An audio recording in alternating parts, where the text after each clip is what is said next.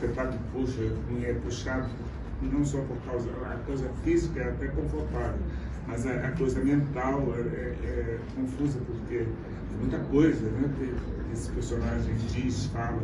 E isso tudo foi sendo montado aos poucos durante os ensaios, com convicções. Com... Então a, a gente trilhou primeiro um caminho de preparação para o espetáculo a, ao palco. Como sempre, todo ensaio você vai comentando, o Fernando também dá muita é, opinião, porque ele tem muito traquejo nisso, ele tem muita experiência como produtor em todos os detalhes, produção lida com muitos detalhes, todos os detalhes do espetáculo é canalizar, é, são canalizados para a produção. E então, a partir do, do ensaio, começa com a produção oferecendo um espaço para ele trabalhar confortável, assim, confortável que eu digo possível de você ensaiar, que é até um dos nossos. Nós temos estúdios da, no, na zona portuária do Rio, e foi um deles que a gente ensaiou. E aí tinha essa equipe, uma equipe muito boa, os companheiros muito bons, os atores, o, todas as pessoas, camareiras, muita sorte nisso, porque é uma convivência muito agradável. E nós fomos então ensaiando isso aos poucos e nós fomos compondo esse espetáculo, dava muito palpite, ele aceitava, e o resultado é que o público vai ver aqui. Seguinte, a nossa relação é muito interessante porque é, é, ela vai sendo feita aos poucos.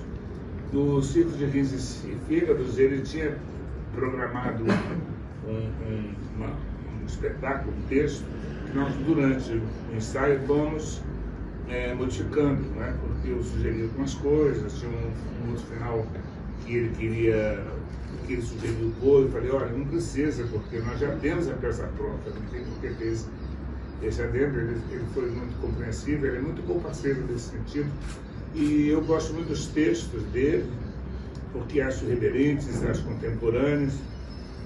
Essa peça chegou a ser o máximo, porque essa peça é, é muito cotidiana, meio Instagram, porque ela não tem um roteiro de princípio, meio e fim, como é um teatro dito convencional. Ela é feita de fragmentos de uma criatura, desse personagem, que, eu não sei meu nome, ela é Nanine mesmo, o nome da escrita. E ele fica tendo um monte de alucinações, de ideias, então ela é muito rápida, tudo, tudo é muito rápido.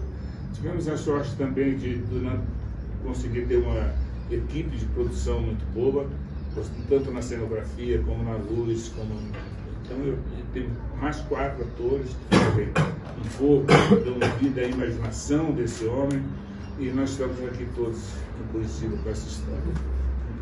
Eu já participei muitas vezes aqui do festival e, e fico muito alegre por saber que ele existe há 32 anos e que é o maior festival da América Latina e que é muito bom para o Brasil, porque eu estava vendo a revista, a quantidade de espetáculos que vem para cá é de fato única a essa quantidade. Muita gente do fringe, do, em todos os teatros, de todos os jeitos, todos os tipos de peça. Então, parabéns a vocês todos que são aqui da cidade. Às vezes que eu vim, eu sempre fui muito recebido por eles, a, a qualidade do público é, é muito boa, por isso uma cidade que admira a cultura, que dá força à cultura, não é à toa que esse festival existe aqui. E foi um prazer, porque eu adoro aquele teatro, aquele teatro é uma maravilha, né? E ele lotado então, melhor ainda. Ele lotado com essa plateia que vocês têm aqui, ainda é melhor do que nunca. Hoje eu vou repetir essa coisa.